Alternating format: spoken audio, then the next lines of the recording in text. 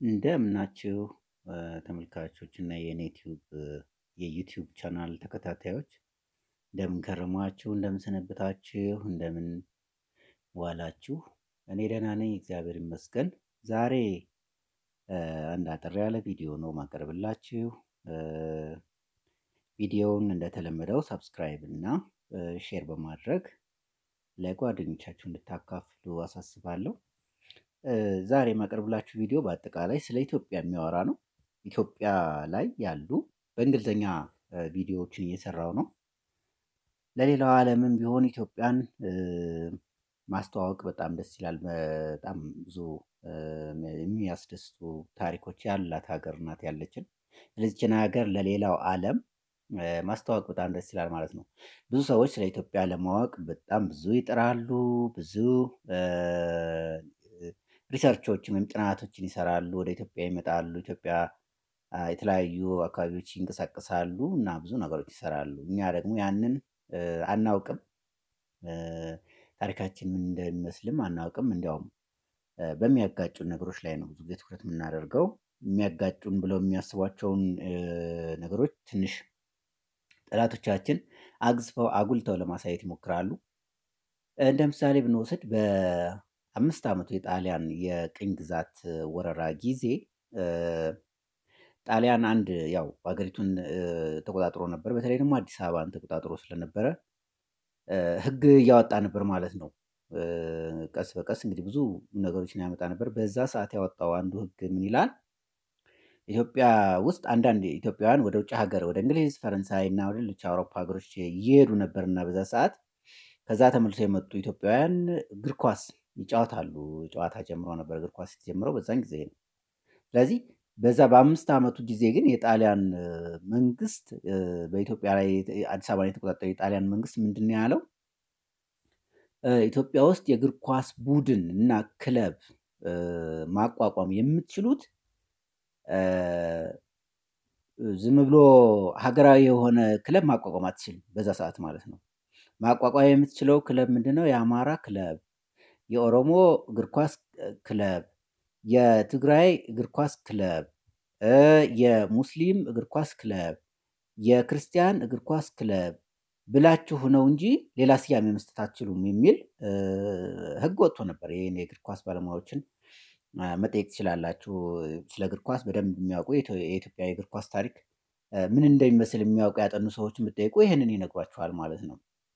ስለዚህ እንደዚህ አይነት ለመከፋፈል የተሰራ ስራ አለ። በአረብ ሀገሮችም እንደዚሁ የሚሰራውን ሴራ እናውቃለን እና ለመከፋፈል የሚሰራው ሴራ እንዳለ ሆኖ እኛ ያለንን ታሪክ ደግሞ ብንሸጥ ብናስተዋውቅ የበለጠ ሀገራችን ጥሩ ገጽታ ይኖራታል ማለት ነው። አንዳንድ ጊዜ አገር ውስጥ ካሉ ባንዳዎች እነሱን አስተምረህ ቀይረሃቸው የእነሱን ዶክተር አብይ እንደሚለው የእነሱን ቁስል መረዳት ምናምን ምናምን ነው የሚለው ብዙ ጊዜ የእነሱን ቁስል ተረድተህ ምናምን የምትቀይረው ሰው የለም ኢትዮጵያ ውስጥ ማለት ነው። አንዴ ሀገሪቱን ሽጦ የተቀመጠን ኢትዮጵያዊ አይደለሁም ብሎ የተቀመጠ ኃይል ተመልሶ ወደ ኢትዮጵያዊነት ለማስተማር እንግዲህ ሀያ ሰባት ወይም አርባ እና ሀምሳ ዓመታት ሊጨርስብን ይችላል ማለት ነው። ሌሎች ሀገሮች ግን ኢትዮጵያዊ ለመሆን በጣም የሚፈልጉ የኢትዮጵያን ዜግነት የሚፈልጉ ናቸው የውጭዎቹ። ስለዚህ በውጭ ለውጭዎቹ ብዬ የሰራሁት እንግሊዝኛ ጽሁፍ ነው። እዚህ የምታነቡ ስለሱ ላስረዳችሁ ብዬ ነው። እሷን ነው ወደ አማርኛ የምነግራችሁ፣ ግን በጣም ጠቃሚ ነው። ትወዱታላችሁ። ብዙ subscribe ም ታደርጉኛላችሁ ማለት ነው ይህንን ቪዲዮ ካያችሁ በኋላ። ቪዲዮ እንግዲህ የሚለው አስር የኢትዮጵያ ሚስጥራት የሚል ነው።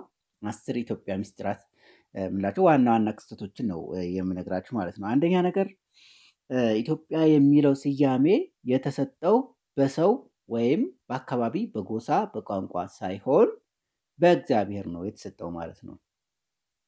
ኢትዮጵያ የሚለው ስያሜ የተሰጠው በእግዚአብሔር ነው ማለት ነው። በእግዚአብሔር የተሰጠ ስያሜ ነው።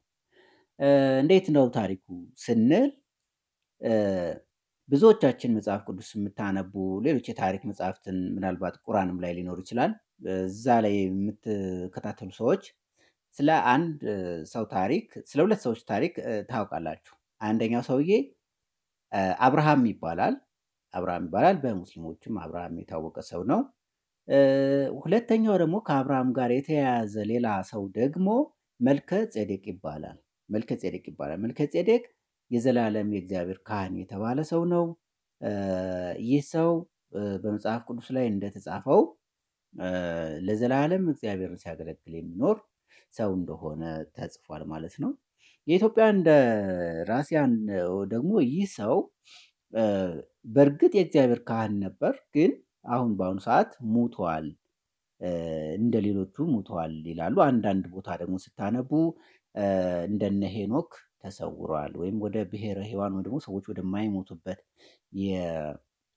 የሰማይ ወይም ደግሞ የህዋ ክፍል ሂደዋል ብለው የሚሉን አሉ ማለት ነው። ለማንኛውም እነዚህ ሁለት ሰዎች በመጽሐፍ ቅዱስ ተጠቅሰው የሚገኙና በታሪክ ተመዝግበው የሚገኙ ሰርግም ሲሆን የአብርሃም የሳራ ያድርግላቸው ተብሎ ምርቃት የሚሰጥባቸው ታዋቂ ሰዎች ናቸው ማለት ነው። ዓለም የሚያውቃቸው ናቸው። አሕዛብም ሁሉም ሕዝብም የሚያውቃቸው ናቸው ማለት ነው። ስለዚህ አብርሃም ጌታን እግዚአብሔርን ኢየሱስ ክርስቶስን ማየት ፈልጎ ነበር። ወቅቱ ግን የሚፈቅድ ስላልነበር በዚያን ሰዓት አምላካችን ከድንግል ማርያም ተወልዶ ማየት ስላልቻለ ምንድን ያደረገው ማለት ነው? መልከ ጼዴቅን ነው የላከለት እግዚአብሔር። በአካል ማየት ባትችል እንኳን የእድሜ ዘመንህ ገድቦ ማየት የምትችለው ንጉሥና ካህን ሚባርክህ አንተን ኢየሱስ ክርስቶስን ተክቶ ሊባርክ የሚችል ሰው አለ ብሎት አሳይቶታል ማለት ነው። ይህ መልከ ጼዴቅ ሳሌም የምትባል ሚስት ነበረችው። የሚስቱ ስም ማን ነው? ሳሌም ይባላል። ሳሌም ትባላለች ማለት ነው። ከዚች ከሳሌም ሚስቱ የወለዳቸው ሶስት ልጆችም አሉ። ሳሌም ሚስቱ ናት። ኢየሩሳሌም የምትባለዋን ከተማ ለመጀመሪያ ጊዜ እስራኤል ሀገር ኢየሩሳሌም የምትባል ሀገር እንዳለች ከተማ እንዳለች እናውቃለን። ዛሬም አለች። እስራኤልና ፍልስጤሞች የሚጣሉባት ማለት ነው። ምስራቅ ኢየሩሳሌም ለእኛ ነው፣ ለፍልስጤሞች ነው ይላሉ። በአጠቃላይ ገና ያልተወሰነለት ነው። ስለዚህ ይቺ ኢየሩሳሌም የምትባለዋን ከተማ መጀመሪያ የቆረቆራት ሰው ማን ነው ከተባለ መልከ ጼዴቅ ነው ማለት ነው። መልከ ጼዴቅ ነው። መልከ ጼዴቅ ይባላል። እሱ ነው። ስለዚህ ሳሌም የሚለው የሚስቱ ስም ነው። ኢዮር የሚለው ኢዮር የሚባል ሌላ ሰማይ አለ። በሰማይ አስራ ሁለቱ ሰማያት አሉ። ከአስራ ሁለቱ ሰማያት ውስጥ ሰባቱ ሰማያት የምናውቃቸው ናቸው። መላእክት ያሉባቸው እና ሌሎች ፍጥረታትም ያሉባቸው ክልሎች ናቸው። ከሱ ከሰባቱ ሰማያት ውስጥ አንዷ ኢዮር የሚባለው ሰማይ ነው ማለት ነው። ስለዚህ በኢዮር ውስጥ ሰማያዊት ኢየሩሳሌም የምትባል የሰው ልጆች ሁሉ ከዳኑ በኋላ ሄደው የሚኖሩባት ከተማ አለች ማለት ነው። ሰማያዊት ኢየሩሳሌም ትባላለች። ኢዮር ውስጥ ስላለች ነው እንግዲህ ኢየሩሳሌም ያልናት።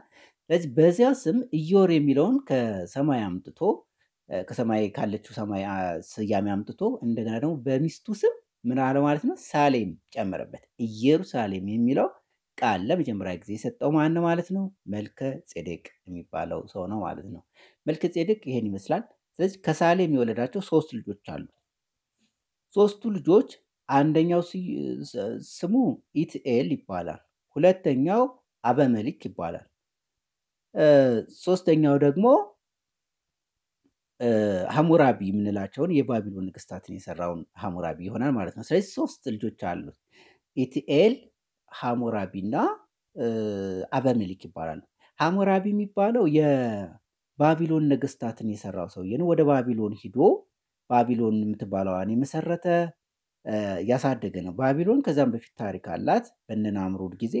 ነገር ግን በባቢሎን ነገስታት ዘንድ ሐሙራቢ የሐሙራቢ ህግጋት ይባላል። በተለያየ የታሪክ መጽሐፍት ላይ ተጽፎ መቼም እናገኛለን። ትምህርት ቤትም ያለፋችሁ ሰዎች የምታስታውሱት ይሆናል ማለት ነው። የሐሙራቢ ህግጋት ይባላሉ።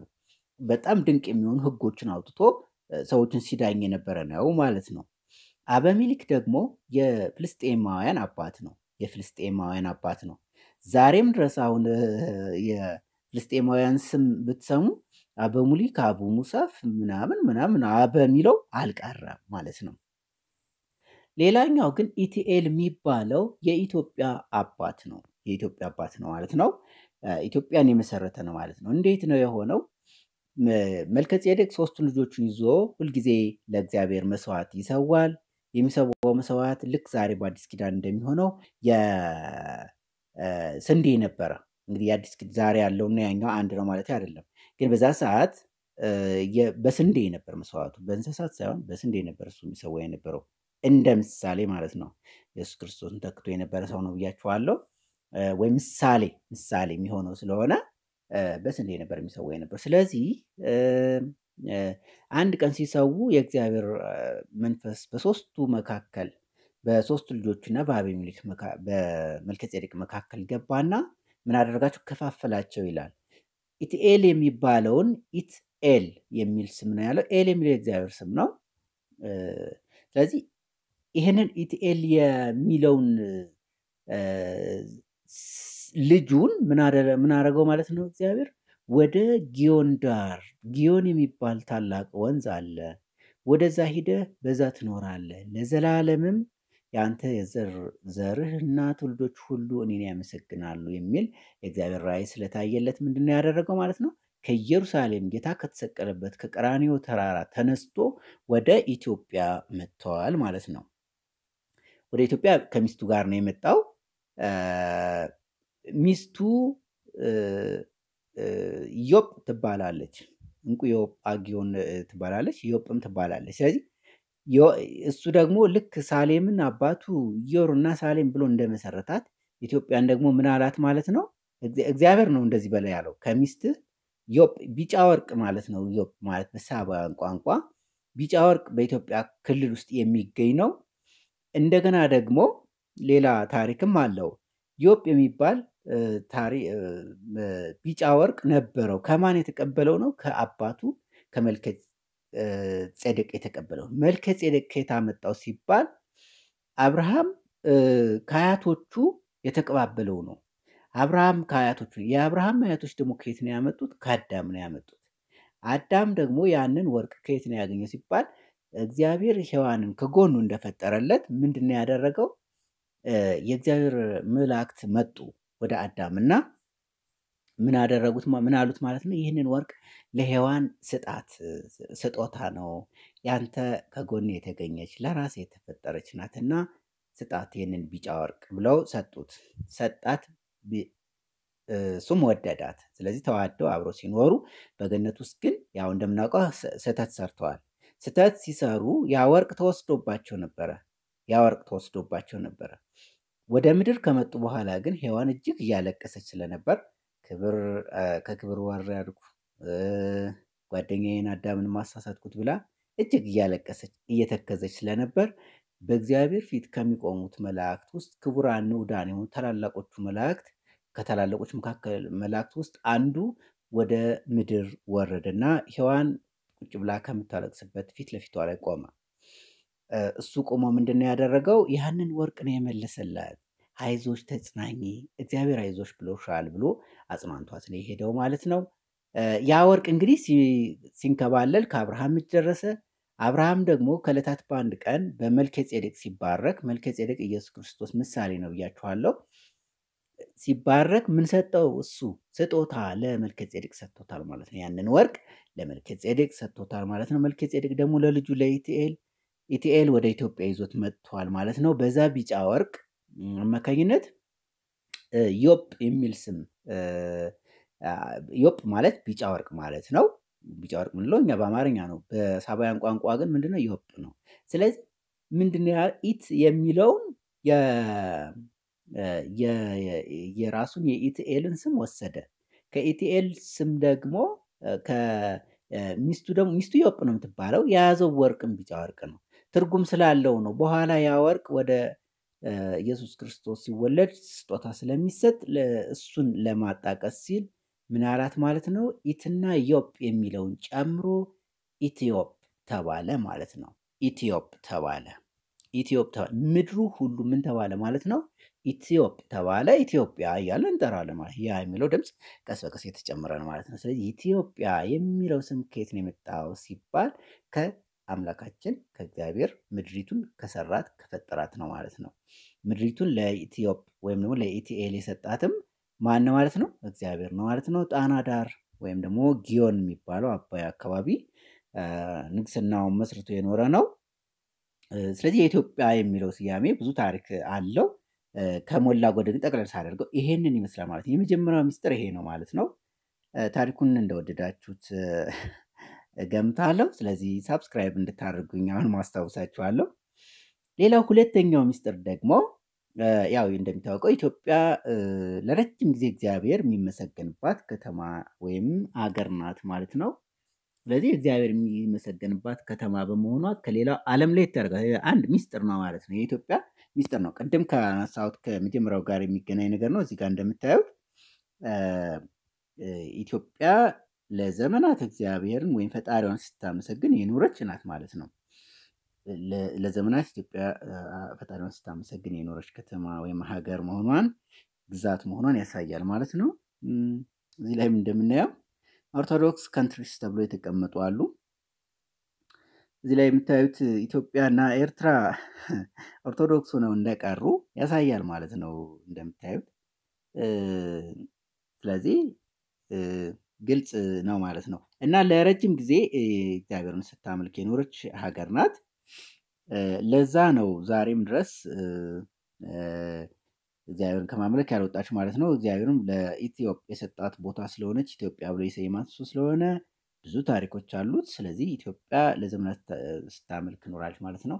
ልክ በኢትዮጵያ አብርሃም ጊዜ ጀምሮ ማለት ነው። በኋላ ላይ ደግሞ የመጡት ነገስታት አስፋፍቷል። ለምሳሌ የንግስት ሳባ የንግስተ ሳባ ልጅ ምኒልክ ደግሞ በጣም አስፋፋው ማለት ነው። ወደ ጋሞ ጎፋ፣ ወደ ደቡብ እናሪያ ወደምንለው ወደ ጅማ ያሁኑ ጅማ ድሮ እናሪያ ነበር የሚባለው። ወደሱ ወደሱ ሁሉ ቤተ መቅደሶችን እየሰራ መላ ኢትዮጵያን ተቆጣጥሮ ነው። አፋር፣ ሶማሌ የምንላቸው ቦታዎች ሁሉ ምን አድርጓል ማለት ነው? አስፋፍቷል። የመላ ኢትዮጵያን አዳርሷል። የሶሎሞን ልጅ ምኒልክ የመጀመሪያው። ሁለተኛው ሶስተኛው ሚስጥር ብዙዎቻችሁ እንደምታውቁት የሙሴ ጽላት እዚህ ነው የሚገኘው። አክሱም ጽዮን ነው። ከመቀሌ ከተማ አንድ ሶስት መቶ ኪሎ ሜትር ወደ አክሱም ትሄዳላችሁ። ከዛ በኋላ እግዚአብሔር ቀርጾ ለሙሴ የሰጠውን ጽላት እዚህ ቦታ ታገኛላችሁ ማለት ነው። በጣም አስገራሚ ነገር ነው። ለኢትዮጵያ እንዴት መጣ? እንዴት እስከ ኢትዮጵያ አልጠፋም? ይህን ያክል ዘመን እንዴት ኖረ? የሚለው ራሱ በጣም ለማሰብ ሚስጥር የሆነ ነገር ነው ማለት ነው። ብዙ ቅርሶች ጠፍተዋል። ብዙ ነገሮች ተቃጥለዋል። ብዙ ሁኔታዎች አሉ። ይህ ጽላት ግን እስካሁን ድረስ አለ ማለት ነው። ይህ ሚስጥር ነው። ለኢትዮጵያ የታሰበን ወደፊት የሚኖረውን ነገር ሁሉ የሚያሳየን ነው ማለት ነው። ታቦተ ጽዮን ያለችው ኢትዮጵያ ውስጥ በመሆኑ ዓለም ሁሉ ፊቱን ወደ ኢትዮጵያ አዝሯል ማለት ነው። ይሄ አንዱ አስገራሚ ነገር ነው ማለት ሶስተኛው አስገራሚ ነገር ልነግራችሁ የፈለኩት እሱ ነው። አራተኛው ደግሞ ያው የኢትዮጵያ ባንዲራ የተቀዳው ከምንድን ነው? ከሰማይ ላይ ከሚታየው ሰማይ ላይ ከሚታየው ቀስተ ደመና ነው ማለት ነው። ቀስተ ደመና ሰባት ቀለማት አሉት። አረንጓዴ፣ ቢጫ፣ ቀይ፣ ሐምራዊ እና ሌሎችም ቀለሞች ሊኖሩት ይችላሉ። ሰባት ቀለማት ነው ያሉት ሰባት ቀለማት። ነገር ግን የእኛ አባቶቻችን ምን አደረጉ ማለት ከሰባቱ ቀለማት ውስጥ ዋና ዋናዎቹን ደመቅ ብለው የሚታዩትን ወሰዱ ማለት ነው። አረንጓዴ፣ ቢጫ፣ ቀይ አድርገው ወስደዋል ማለት ነው። ይህ ቀለም ወይም ደግሞ የሰማይ ላይ የሚታዩ ቀስተ ደመና በቀስተ ደመናነቱ ብቻ አይደለም የሚታወቀው። ቀስተ ደመናነቱ ብቻ አይደለም የሚታወቀው። በቅድም ባልኩት ኢዮር በምንለው ሰማይ ክልል ውስጥ ያለችው ሰማያዊት ኢየሩሳሌም የምንላትም በተለያዩ የብርሃን ቀለማት ያሸበረቀች እንደሆነች ይነገራል ማለት ነው። መጽሐፍ ቅዱስም ውስጥ እናገኛለን። ለምሳሌ ትንቢተ ሕዝቅኤል ምዕራፍ አንድን ብታነቡ ለእግዚአብሔር ለነቢዩ ለካህኑ ለታላቁ ሰው ለነቢዩ ሕዝቅኤል ሲገለጽለት ምን አይነት ድባብ እንደነበረ እዛ ጋር ማንበብ ትችላላችሁ። ትንቢተ ሕዝቅኤል ምዕራፍ አንድን አንብቡት። ምን አይነት ቀስተ ደመና ከፊቱ የቀስተ ደመና ብርሃን ይንጸባረቅ እንደነበረ ያሳያችኋል ማለት ነው። እና ከቀስተ ደመና በሰማይ ላይ ከሚታየው ቀስተ ደመና የተወሰደ ነው ማለት ነው። ውስጥ ላይ የሚታዩት ምልክቶች ብዙ ጊዜ ይሄኛው መዋዝ አንበሳ ነው። ቅድም ከምንለው ከኢትዮጵ እና ከንግስት ሳባ ልጅ ጋር የሚያያዝ ታሪክ ያለው ነው። በተለያየ ጊዜ የተለያየ ምልክት ተደርጎበታል ይባላል። በተለይ ግን እነዚህ የሶሎሞን ነገስታት የልጅ ልጆቹ ይህንን ምልክት አድርገውበታል ማለት ነው። ነገር ግን አረንጓዴ፣ ቢጫ፣ ቀዩ እስካሁን ድረስ አልተቀየረም። ወደፊትም አይቀየርም። ማንም ሊቀይረው ሞክሮ ፈልጎ የማይቀይረው ነገር ቢኖር ይሄ ነው። ሚስጥር አለው፣ ብዙ ሚስጥር አለው እዚህ ውስጥ ማለት ነው። ቅድም እንደነገርኳችሁ ሰማያዊት ኢየሩሳሌምን የሚያሳይ ነው። ለዘመናት ኢትዮጵያ እግዚአብሔር እንዳመሰገነች የሚገልጽላት ምልክት ነው። የምህረት ምልክት ነው። ቀስተ ደመና የሞት ሳይሆን የምህረት ምልክት ነው።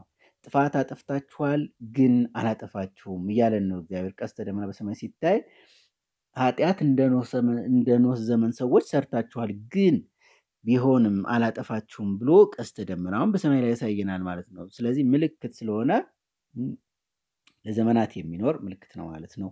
ይሄ አራተኛው የኢትዮጵያ ሚስጥር ብዬ ያሰብኩት ልነግራቸው የፈለጉት ነው። አምስተኛውን ስናይ አምስተኛውን ስናይ ኢትዮጵያ እስያኤል የሚባል ንጉስ ነበራት። አፄ እስያኤል የሚባል ንጉስ ነበራት። ይህ ንጉስ ኤስያ የሚባለውን አህጉር በስሙ ኤስያኤል ያሰኘ ንጉስ ነው ማለት ነው። ልብ በሉ አንድ ንጉስ ኤስያ የሚባለው ትልቅ ሰፊ አህጉር ነው። ያንን ሁሉ አህጉር በስሙ እንዲጠራ ለማድረግ ችሏል ማለት ነው። ይሄ እስያኤል የሚባለው ሰው ትንሽ ሰፋ ያለው ታሪክ ያለው ሲሆን የኖረበት ጊዜ በእስራኤል ሀገር ንጉስ ዳዊት በነገሰበት ዘመን ነው። ንጉስ ዳዊት በነገሰበት ዘመን አካባቢ የኖረ ነው። ለረጅም ጊዜ የኖረ ነው። በነገራችን ላይ ንጉስ ዳዊት በነገሰበት ዘመን ብቻ ሳይሆን ከዛም አልፎ ረዘም ላለ ጊዜ የቆየ ሰው ንጉሱ በከፍተኛ ደረጃ ታላቅና ሚስጥር አዋቂ በመሆኑ ለ380 ዓመታት የኖረ ነው። እድሜ ለማርዘም የሚያስችሉ አመጋገቦችንም ይመገብ የነበረ ሰው ነው ማለት ነው። ግዙፍና ማንም ተጋፍጦ የማያሸንፈው እንደነበረም ያሳያል ማለት ነው።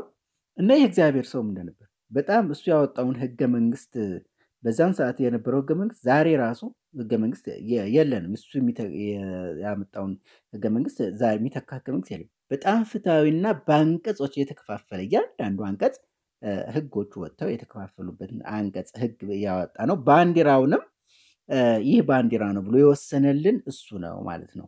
እሱ ነው ማለት ምልክቱ ወደፊት ሌሎች ነገስታት በተቀያየሩ ቁጥር እንዳይቀያየር ሁሉ ያደረገ ንጉስ ነው ማለት ነው። እና ይህ ንጉስ ኢትዮጵያ የምትባለው ሀገር በነገራችን ላይ አሁን ያለችው ኢትዮጵያ ብቻ አይደለችም። አፍሪካ መች ነበር በዛን ሰዓት? ኬንያ መች ነበር በዛን ሰዓት? ዩጋንዳ መች ነበር በዛን ሰዓት? ታንዛኒያ መች ነበር በዛን ሰዓት? አልነበረም። ስለዚህ የሚቆጣጠረው እሱ እስከፈለገው አካባቢ ሂዶ መቆጣጠር ይችላል ማለት የእሱ ግዛት ነው። ማንም defend የሚያደርገው ወይም ደግሞ የሚቃወመው ሌላ ሀገር የለም። የተደራጀ መንግስት የለም። እሱ ነው የሚቆጣጠር የነበረው። ስለዚህ መካከለኛው ምስራቅም ሄዶ ነበር። መካከለኛው ምስራቅ ሂዶ በከፍተኛ ደረጃ ብዙ አካባቢዎችን ምን አድርጓል ማለት ነው? ተቆጣጥሯል ተቆጣጥሯል ማለት ነው። እስራኤል ሀገርም ለመቆጣጠር ሞክሮ ነበረ። ወደ ኢየሩሳሌም አምርቶ ነበረ። ወደ ኢየሩሳሌም ሲያመራ ግን ምንድን ነው የእግዚአብሔር መልእክት ወደ እርሱ መጥቶለት ኢየሩሳሌምን መቆጣጠር አትችልም የሚል መልስ መጥቶለት ለምን? ዳዊት የሚባል የተባረከ ንጉሥ ስለነበረ ኢየሩሳሌምን አሳልፎ ለመስጠት አልቻለም ማለት ነው እግዚአብሔር። ስለዚህ በዛን ሰዓት የነበሩ በዛ አካባቢ የሚኖሩ ሰዎች በቋንቋቸው እስያኤል የሚለውን መጥራት ሲያቅታቸው ምን አሉ ማለት ነው? ይሄ እስያኤል የሚለው የእሱ ስም ነው። እነሱ ምን አሉት ማለት ኤሲያ አሉት ማለት ነው። ኤሲያ አሉት። በተለይ ደግሞ በዕብራይስጥና በሌሎች ቋንቋዎች ኤሲያኤል ማለት ይከብዳቸውና ኤሲያ ብለው ይቀራሉ ማለት ነው ብለው ይቀራሉ ማለት ነው በእነሱ ቋንቋ። ስለዚህ በታሪክ መጽሐፍ ውስጥ ኤሲያ እንዴት እንደተሰየመ ብዙ ጊዜ አይወሳም። ነገር ግን በኢትዮጵያ ባሉ ታሪክ ጸሐፊዎች መካከል ግን ምንድነው የኤስያ የሚለው ስያሜ የተሰጠው በንጉሳችን በአፄ እስያኤል ነው ማለት። አፄ የሚለው ቃልም ከሱ ነው የመጣው። በነገራችን ላይ አፄ ማለት ምን ማለት ነው? አፄ ምኒልክ፣ አፄ ኃይለስላሴ ምናምን የሚል ነገር እናወራለን። ብዙ ጊዜ ግን አፄ የሚለው ራሱ የመጣው ከሱ ነው። እሴ ማለት ነው። ስሙ እሴ ነው የሚለው እሴ የሚለው በአነጋገር እየቆየ ምን ሆነ ማለት ነው አፄ ይሉሃል ተብለው ትንቢትም ተነግሮለት ነበር ለሱ። እሱም ስያሜው ምን እየሆነ መጣ ማለት ነው አፄ። ስለዚህ በሱ ዙፋን ላይ በኢትዮጵያ ዙፋን ላይ ኢትዮጵያን ለማስተዳደር የሚወጡ ነገስታት ሁሉ ምን ሲባሉ ነበር ማለት ነው? ከፊት ለፊታቸው አፄ አፄ አፄ አፄ የሚል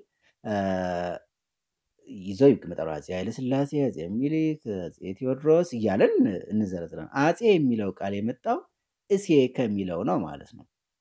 ለሶስት መቶ ሰማንያ ዓመት የኖረ ንጉስ ማለት እንግዲህ ያስቡ ለረጅም ጊዜ የኖረ ነው። ሰው የሚያውቀው ነው። በጣም የተከበረ ነው። ኤሲያ የሚባለው continent ወይም አህጉር ራሱ በሱ የተሰየመ ስለዚህ ለዛ ነው ኤሲያ የሚለው ስያሜ የመጣው ማለት ነው።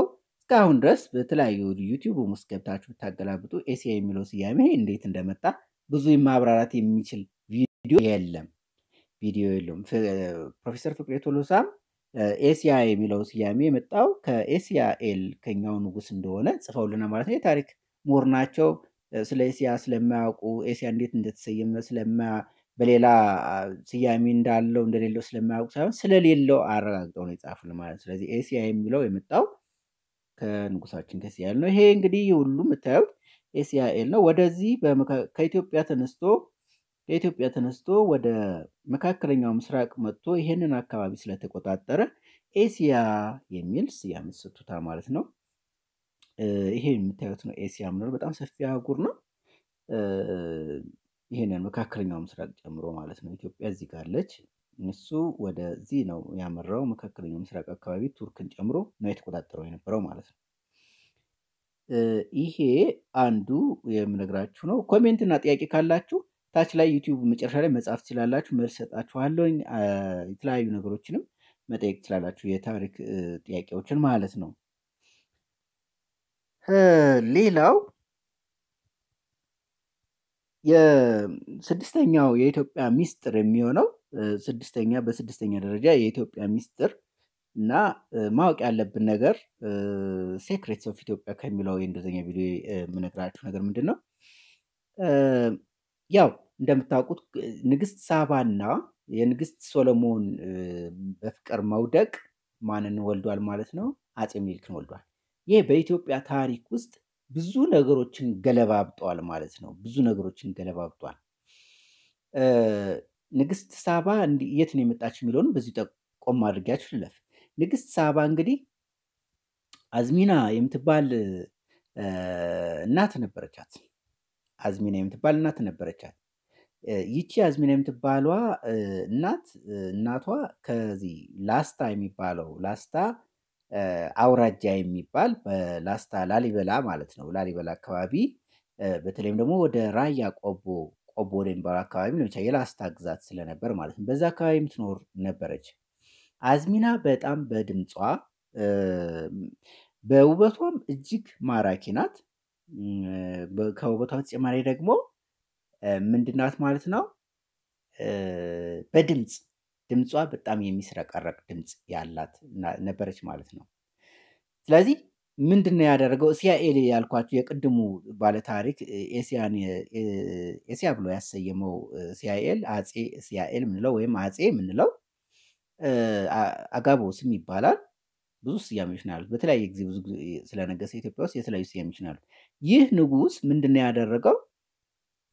ይችን የላስታ ገዢ የነበረውን ንጉሱን በሱ ስር የነበረው ማለት ነው አዝሚና የምትባለዋን ድምፅ እንዳላት ይህንን መረጃ ሲደርሰው ወደሱ ወደ አክሱም እንድትመጣ ያደርጋል ማለት ነው። አክሱም ከሄደች በኋላ የምትሰራው ስራ ምንድን ነው? ዘፈን፣ ጭፈራ ምናምን ሳይሆን እስያኤል የሚባለው የእግዚአብሔር ሰው ስለሆነ የሚፈልግ የነበረው ምንድነው? ዝማሬ ነው። ለእግዚአብሔር ዝማሬ የሚያቀርቡ ሴትና ወንድ ደናግላን ነበሩት፣ ድንግሎች ነበሩት። በፊቱ የሚያሸበሽቡ ለእግዚአብሔር የሚያመሰግኑ ነበሩ፣ ዘማሪያን ማለት ነው። ዘማሪያን ነበሩት። ስለዚህ አዝሚና ወደ እሱ እንድትሄድ አደረገ። አዝሚና የተባለችዋ በውበቷም በሁሉም ነገር በጣም ቆንጆ እንደነበረች ነው የሚነገርላት። እዛ ከሄደች በኋላ ከወንዶችና ሴቶች በተለያየ ክፍል ሆኖ ነው ዝማሬ የሚያቀርቡት። የሚገርመው ግን ከአንዱ ዘማሪ ጋር ተዋደዱ። አዝሚና እና ዘማሪው ተዋደዱ ማለት ነው። በፍቅር ወደቁ። ልብ በሉ ይህን ነገር ያዙልኝ እንግዲህ ማርክ አድርጋችሁ ምልክት አድርጋችሁ ያዙ። ስለዚህ እነሱ በፍቅር ከወደቁ በኋላ በዕለታት አንድ ቀን ያው ተገናኙ ማለት ነው።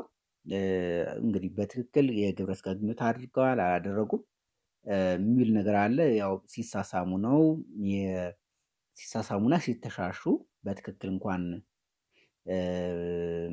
ያው ዞሮ ዞሮ እንግዲህ ዞሮ ግንኙነት አድርገዋል ማለት እንችላለን ማለት ነው። ግንኙነት አድርገው ሲተሻሹ ገና ነው የወንድ ዘሩ ወደ እርሷ ተረጭቶ ደርሷት ነው ያረገዘችው ይባላል። ወይም ደግሞ እንግዲህ የግብረ ስጋ ግንኙነት ሙሉ በሙሉ አድርገውት ሊሆን ይችላል። ዞሮ ዞሮ ግን ምንድነው የሆነችው? አዝሚና አረገዘች ማለት ነው። አረገዘች። እስያኤል የሚባለው ንጉስ ቅድም 380 ዓመት ኖረ ያልኳችሁ ንጉሥ ይህንን ጉዳይ ሲሰማ በቤተ መንግስት ውስጥ ሊደረግ የማይገባው ነውር ነገር ተደርጓል ብሎ ስላሰበ በእግዚአብሔር ፊት ድንግል ሆኖ ለመኖር ያሰበ ሰው እንዴት እንደዚህ አይነት የወራዳ ስራ ይሰራል? በንግስናዬ ሊሰራ የማይገባ ነው በማለት ሁለቱንም አስገደላቸው ማለት ነው። አዝሚናንም አዝሚና የወደደችውን ያንን ዘማሪውንም ሁለቱም ድንግል ነበሩ። ሁለቱም እንዲህ በማድረጋቸው እንዲገደሉ ትእዛዝ ይሰጣል። ተገደሉ ማለት ነው። ማለት ልጅ ከወለደች በኋላ ነው ይሄ ነገር የሰማው። ሲያኤል የሚባለው ንግስተ ሳባ አዜብ የምንላትን ማክዳም ትባላለች። እሷን ከወለደች በኋላ ነው የሰማው። ህፃኗን ከወለደች በኋላ ማለት ነው። እርጉዝ እያለች ምናምን አልሰማም። ቢሰማ ኑሮ እንግዲህ ትገደል ነበር ማለት ነው። ነገር ግን ከወለደች በኋላ ነው የሰማው። ከሰማ በኋላ ምንድን ያደረገው? እንዲገደሉ አደረገ። ይችን የአዝሚናን ልጅ ግን በሚስጥር ወደ እናት አባቷ ሀገር ወደ ላስታ እንድትመጣ ተደረገች ማለት ነው። ወደ ላስታ እንድትመጣ ተደረገች ህፃኗ ማለት ነው። ስለዚህ ከዛ እንደገና ይቺ ህፃን ልጅ አደገች ማለት ነው። ካደገች በኋላ ንግስተ ሳባ የምንላት ወይም ማክዳ ወይም ንግስተ አዜብ የምንላት ጌታ አምላካችን ኢየሱስ ክርስቶስም የመሰከረላት ንግስተ አዜብ በዚህ ህዝብ ላይ ትፈርዳለች ተብሎ የተነገረላት ማለት ነው። እሷ እያደገች ሄደች ማለት ነው። እያደገች ስትሄድ ግን በሚገርም ሁኔታ እናቷን የምትመስልና ከእናቷም የተሻለች የተዋበችና ቆንጆ በድምጿ የተሻለች ሆኖ ተገኘች ማለት ነው። ይህንን አሁንም እሱ ራሱ ማን ነው የበፊቱ ሲያኤል አጼ ይሰማል ማለት ለረጅም ዕድሜ በንግስና ላይ ቆየ ነው ብያችኋለሁ። እንግዲህ 380 ዓመት ማለት ምን ማለት እንደሆነ አስቡት። ስለዚህ ይሰማል ማለት ነው። ይህን ከሰማ በኋላ እንደተለመደው በድንግልናና በዝማሬ እንድታገለግል ከዘማሪያ መካከል እንድትሆን ልክ እናቷ እንዳደረገው ምን ያደረገ ማለት ነው ከላስታ ክፍለ ሀገር ወይም ከላስታ አስተዳደር ወደ አክሱም እንድትሄድ ያደርጋል ማለት ነው። እናቷ የሄደችበትን ሂደት እሷም ደገመችው ማለት ነው። ነገር ግን እናቷ እንዴት እንደተገደለች ሲነገራት ሲነገራት የኖረች ሴት ናት ማለት ነው። ንግስተ አዜብ ምንላት ወይም ንግስተ ሳባ ሳባ ንግስት ምንላት ወይም ደግሞ ማክዳ ምንላት ማለት ነው። ስለዚህ ከሄደች በኋላ እሷም እንደዚሁ በዝማሬ ስታገለግል ቆየች። ይባስ ብሎ አጼ እሷን በልዩ ሁኔታ ለሱ ተንከባካቢው እንድትሆን ያደረጋት እንድትሆን ለእኔ ተንከባካቢ ብሎ በሱ መኝታ ክፍል ቤት ሁሉ ገብታ የምትንከባከበው ሆነች ማለት ነው። አጼ እየቆየና እያረጀ በሄደ ቁጥር ግን ምን ሆነ ማለት ነው? እየደከመ ሲሄድ እድሜም በጣም ብዙ ስለቆየ የመኖር መሰልቸት ሁሉ ሲገጥመው መሞትን ፈልጎ ነበር መሞትን ፈልጎ ነበር። ስለዚህ በዚህ አጋጣሚ ግን የእናትና አባቷ ገዳይ የነበረው ማን ነው? አጼ ነው ወይም ደግሞ ሲያኤል ያልነው ነው ማለት ነው። እሷ የምትንከባከበው በሽምግልና ላይ ያለው ንጉሱ ነው። ንጉሱን ገደለች። ንግስተ አዜብ ማለት ነው። ንግስተ አዜብ ምንላት ማክዳ ምንላት ንግስተ ሳባ ምንላት ገደለችውና ምን አደረገች ማለት ነው? ጣለች። ምልክት ግን ወሰደች። ምልክት ወሰደች። ገደለች እንዳትባል ምልክት የሆነ ምልክት ከወሰደች በኋላ ቤተ መንግስቱን በእሳት እንዲያያዝ ነው ያደረገችው። እሱ ያለበትን መኝታ ክፍሉን ማለት ነው። ከዛ በኋላ ወጣችና ሸሸች። ወደ አባቷ ሀገር፣ ወደ እናቷ ሀገር፣ ወደ ላስታ ተመለሰች ማለት ነው። ወደ ላስታ ተመለሰች። ይሄ የምታዩት የእሷ mark ነው። በነገራችን ላይ ቪዲዮ ላይ እዚህ የምታዩት የእሷ ማህተም ነው። ማህተም ነው። ማህተም ማለት ነው። Seal of Queen Sheba ይባላል። የእሷ ምስልም እዚሁ ላይ አለ። ስለዚህ ምንድን ነው ያደረገችው? ወደ ላስታ ተመለሰች።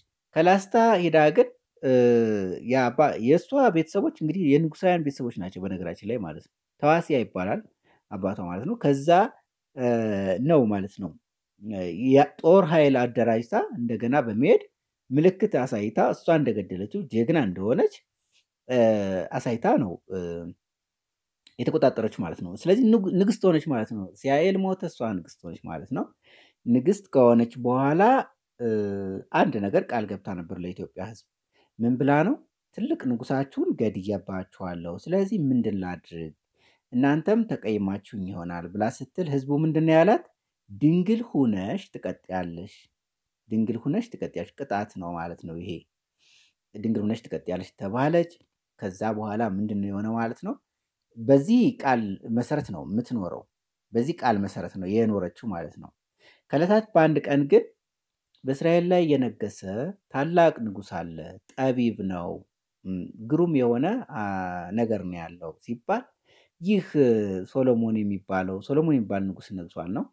ይህ ሶሎሞን የሚባለው የነገሰው ንጉስ በነቢያት ትንቢት ሲነገርለት የነበረ ብዙዎቹ የሚያወሩለት ብዙ ነገስታት የሚጠባብቁት ብዙዎቹ ነቢያት የጠበቁት ኢየሱስ ክርስቶስ ነው ወይ ወይም ደግሞ ይወርዳል ይወለዳል የተባለው ዓለምን ያድናል የተባለው ነው ወይ የሚል ጥያቄ አነሳች። ይህን ጥያቄ በምታነሳበት ሰዓት አንዳንዶቹ አይ አይደለም ገና ነው ጌታ የሚወለደውማ ከአንድ ሺህ ዓመታት በኋላ ነው። መጽሐፍት አሉ በኢትዮጵያ ውስጥ የተጻፉ ኮከቡ የሚገለጠው ገና ነው ብሎ ሲሏት እሷ ደግሞ ምንድን ያለችው ማለት ነው። ሌሎቹ ደግሞ ግማሾቹ አዎ እሱ ነው በጣም ጠቢብ ነው እሱ ነው እያሉ ይመክሯት ነበረ። ስለዚህ ሁለቱ የሚያምታታ ሀሳብ ሲሆንባት ለምን ሄጄ አላረጋግጥም አለች እና ከኢትዮጵያ ውስጥ ያሉ በጥንቃቄ አንድ ሰው ጠቢብ መሆኑን ለማረጋገጥ የሚያስችሉ እንቆቅልሽና መሰል ጥበብ የተሞላባቸው ንግግሮች ይዛ ሄደች ማለት ነው። ከወሰደችው አንዱ ነገር ውስጥ ምንድነው artificial አበባ እና እውነተኛ አበባ ሁሉ ይዛ ነው የሄደችው ማለት ነው። ይህንን ይዛ ሄዳ በንጉሱ ፊት ቆመች። ንጉሱ ፊት ላይ ከቆመች በኋላ መፈተን ጀመረች ማለት ነው። መፈተን ጀመረች።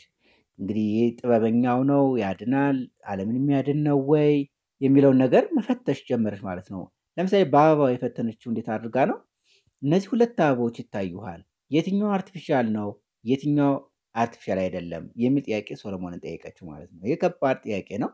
በወቅቱም እንዴት አመሳስለው artificial አበባን እንደሰሩት ራሱ በጣም የሚገርም ነገር ነው። ስለዚህ ይህን ስትጠይቀው ምንድን ነው ያለው?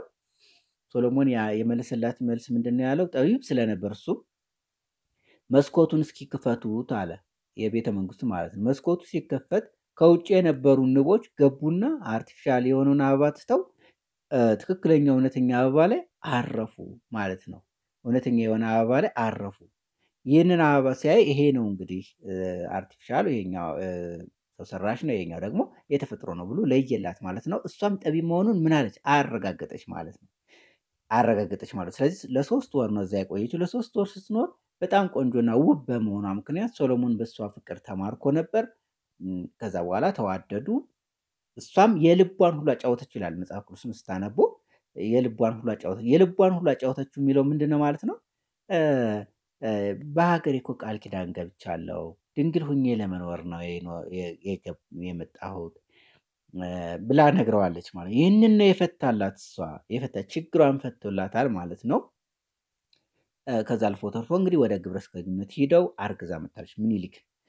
ስለዚህ ምኒልክን በዚህ ሁኔታ መወለድና ወደ ኢትዮጵያ መምጣት ብዙ ነገሮችን ቀያይሯል። ብዙ ኢትዮጵያን ቀይሯል ማለት ማምለኪያ ቤተ መቅደሶችን ይሰራል። እነ ብርብር ማርያምን፣ አክሱም ጽዮንን እና የመሳሰሉትን ይሰራልን ማን ነው? እሱ ነው ማለት ነው። ይህ የምታዩት የእሷ ማህተም ነው። የንግስት ሳባ ማህተም ነው። በጣም የሚገርም ነው።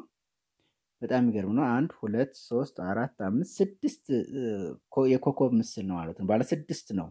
ኮከብ ስናነሳ ባለ ስድስት ነው፣ ባለ አምስት አይደለም። ስለዚህ ባለ ስድስት ኮከብ ቅርጽ ያለው ነው ማለት ነው። ይሄ እንግዲህ ብዙ ነገር ሊወስደን ይችላል ማለት ነው። ይህ የእሷ ማህተም ነው። ለማንኛውም የእሷ ምስል እዚህ ጋር ይታያል። ምስሏን አስቀርጻ ነበር ትልቅ ንግስት በመሆኗ ማለት ነው። ይህ ሰባተኛውን ወደ ሰባተኛው አስገራሚ የኢትዮጵያ ጉዳይ ስንሄድ በአፍሪካ ዙሪያ የነበሩ ሐይቆች በሙሉ በኢትዮጵያ ስያሜ የተሰየሙ እንደነበር ቅድም እንዳልኩት የተደራጀ ሀገር ስላልነበር አፍሪካ በኢትዮጵያ ነው የሚጠራ የነበረው ማለት ነው። በኢትዮጵያ ነው የሚጠራ የነበረው። ስለዚህ እዚህ እንደምታዩት ምን ይላል? ኢትዮጵያ ይላል ማለት ነው። አፍሪካን በሙሉ እንዳለ እዚህ ጋር ተመልከቱ። ኢትዮጵያ ይላል። ያያችሁት ነው። ኢትዮጵያ ይላል። ይሄ በሙሉ ኢትዮጵያ ይላል። ስለዚህ ኢትዮጵያ በዚህ Atlantic Ocean የምንለውን በዚህ በኩል ያለውንም ምንድን ነው ማለት ነው Ocean Ethiopica ነው የሚባለው። በስፓኒሽ እና በሌሎች ቋንቋዎች Ocean Ethiopica ነው የሚባለው። የኢትዮጵያ ውቅያኖሶች ተብሎ ህንድ ውቅያኖስ እንደምለው የኢትዮጵያ ውቅያኖሶች ተብሎ ነው የሚታወቀው ማለት ነው። ስምንተኛው የቱርኮችን እስላማዊ እንቅስቃሴ በመቃወም ኢትዮጵያን የሚያክላት ሀገር የለም። በፍጹም ይህንን የእስልምና እንቅስቃሴን ገትታ ያቆየችው ኢትዮጵያ ናት ማለት ነው። ብዙ እስልምና በኃይል መጥቶ ለመቆጣጠር የሞከረበት ጊዜያት አሉ። ለረጅም ጊዜያት እንደምታውቁት ግራኝ አህመድ በቱርክ መንግስት መሳሪያ እየተሰጠው ነው የክርስቲያን ከፍታ ቦታዎች ላይ ያሉ የክርስቲያን ነገስታትን ሲወጋ የነበረው። እስከ ማሸነፍም ብዙ ደርሷል ማለት ነው። እስልምና የተስፋፋው ኢትዮጵያ ውስጥ በነገራችን ላይ በዚህን ሰዓት ነው። ልብ በሉ ኢትዮጵያ ውስጥ እስልምና አልነበረም። እስልምና የተስፋፋው በማን ነው? በግራኝ አህመድ ነው። በከፍተኛ ጫና ውስጥ ማለት ነው። ጫና ውስጥ ሁሉም ሰው ክርስቲያን የሆነ ሁሉ መኖር አይችልም። በዛ ሰዓት ምንድን የሆነ ብቻ ነው የሚኖረው ሙስሊም የሆነ ስለዚህ ክርስቲያን ሆነ ወይ ወደ ሙስሊም ትቀይራለህ ወይ ደግሞ ምን ትሆናለህ ማለት ነው፣ ትገደላለህ ማለት ነው፣ ወደ እሳት ትጨምራለህ። ስለዚህ ብዙ ታሪክ ይሄ ሁሉ የሆነው በማን ነው? በቱርክ መንግስት። እዚህ ጋር የምታዩት ቱርክ የምትባል ሀገር አለች፣ ቀይዋ ማለት ነው። ከዚህ ተነስቶ ኦቶማን ቱርክሽ በምንላቸው ነው ማለት ነው። ስለዚህ ወደ አፍሪካ እስልምና ለመስፋፋት ያደረገው ሙከራ ኢትዮጵያ ላይ ሲመጣ ተቀልብሷል ማለት ነው። ኢትዮጵያ ላይ ሲመጣ ተቀልብሶ እናገኛለን። ይህ እንግዲህ ብዙ ሚስጥር ያለው ነገር ነው። ስለዚህ ሙስሊም ወንድሞቻችን እንግዲህ እምነት መከተል ምርጫችሁ ነው። ግን በዚህ ያው ሁሉም ነገር እያገናዘብን መሆን አለበት ማለት ነው። ግዴታ እንደዚህ የሚባል ነገር አይሰራም። አምናችሁበት ግን ክርስቲያን መሆን ትችላላችሁ ማለት ነው። ስለዚህ እንደምታዩት የእስላሚክ ሙቭመንቱን ወይም የእስልምናውን ገቶ ያስቀረው እሱ ነው። አሁንም ቢሆን ጫናዎች አሉ። ልብ በሉ። ይህ መካከለኛው ምስራቅ የሚባለው ዓለም ኢትዮጵያ እዚህ ውስጥ የክርስቲያን ደሴት መኖር አትችልም የሚል ጠንካራ አቋም ያለው ነው። ጠንካራ አቋም የግብፅ ግድብ እንኳ በተመለከተ የአረብ ሊግ ያወጣውን አይታችሁታል አይደለ? ግብፅ ኢትዮጵያ እዚህ ግድቡን ገድባ ግብፅን አትችልም። ግብፅ እዚህ ጋር Arabic country ስለሆነ ወይም በሙስሊም dominated area ስለሆነ እሱን affect እሱን እንዳይጎዳባቸው በማሰብ ነው ማለት ነው። በዙሪያችን ያሉ ሀገሮች ስና ሶማሌ የአረብ ሀገር ነው። ኬንያ ብቻ ነው የክርስቲያን ሀገር። ሱዳን የአረብ ሀገር ነው። ደቡብ ሱዳን የክርስቲያን ሀገር ነው። ሌሎቹም ኤርትራ ራሷ የአረብ ሊግ አባል እኮ ነች አባል እኮ ነች። ስለዚህ የመንን የመሳሰሉ ሳውዲ አረቢያ የመሳሰሉ አሉ። እዚህ ጋር እንቅፋት ሆኖ ያስቸግረን ኢትዮጵያ ማጥፋት ነው የሚፈልጉት ማለት ነው። ይህን በነጃዋር በኩል እየሰሩት ያሉት ስራ ነው። መጠንቀቅ ነው ደጉ። እዚህ ጋር ዘጠነኛውን ስናይ ሌላ አስገራሚ ነገር ነው። በክርስቶስ ፊት ሂደው ስግደትን ከሰገዱ ነገስታት ውስጥ አምስቱ እነማን ናቸው ሲባል ኢትዮጵያውያን ናቸው ማለት ነው። ኢትዮጵያውያን ናቸው። አፄ ባዜን የሚባል ንጉስ የዛሬ ሁለት ሺህ ዓመት ገደማ ነግሶ ነበረ። ጌታ ሲወለድ ማለት ነው። በዛን ሰዓት ነግሶ የነበረው ንጉስ ማን ይባላል? አፄ ባዜን ይባላል። በዚህ ሰዓት ኮከብ ከምስራቅ ታይቷቸው ነበረ። ይህ ኮከብ ለየት ያለ ቅርጽ ያለውና አስገራሚ ኮከብ ነበር። ይህንን ኮከብ ሲያዩ ምን አሉ ማለት ነው? በጣም በደስታ ፈነጠዙ። እነዚህ ነገስታት በአጠቃላይ በኢትዮጵያ ደስታ ነበር። ለምን? መሲሁ ተወልዷል ማለት ነው። መሲሁ ተወልዷል ማለት ነው የሚለውን ስላረጋገጠላቸው በከፍተኛ ደስታ ነው የተዋጡት ማለት ነው። ስለዚህ ይህ ኮከብ እየመራቸው ሂደው ጌታን በቤተልሔም ለማየት ችለዋል ማለት ነው።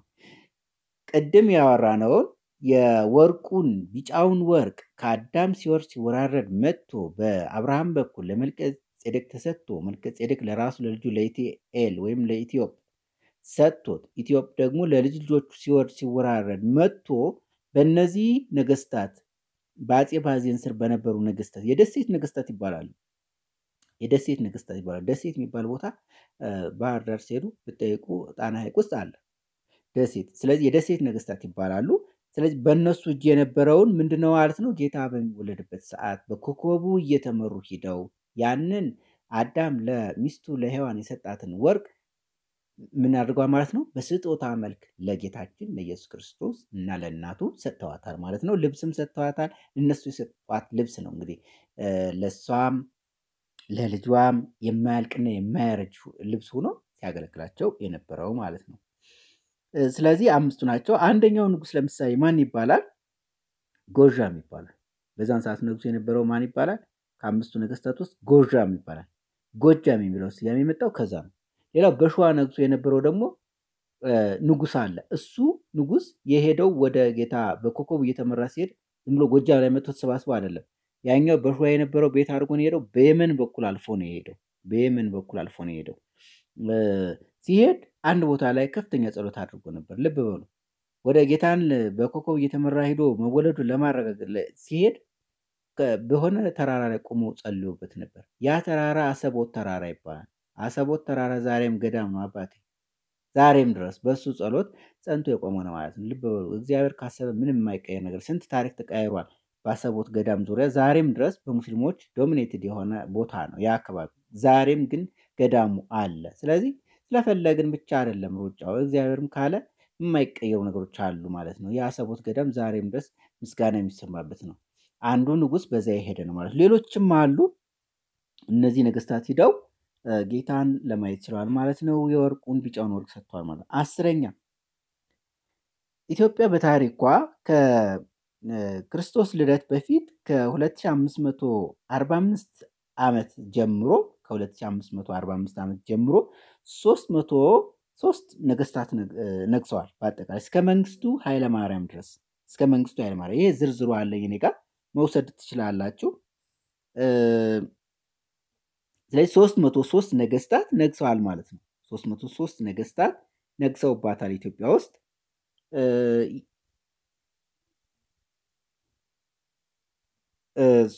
ዝርዝሩም አለኝ መውሰድ ትችላላችሁ። እሱን 303 ነገስታት ነግሰዋል ማለት ነው። 303 ነገስታት ነግሰው ይገኛሉ ማለት ነው። እንደ እንትን ነው ይሄ አዲስ አበባ ዩኒቨርሲቲ ውስጥ ያለ ነው። አዲስ አበባ ዩኒቨርሲቲ ውስጥ ዝርዝሩን ማግኘት ትችላላችሁ ማለት ሰብታ ነው ዓመት ነው የነገሰው።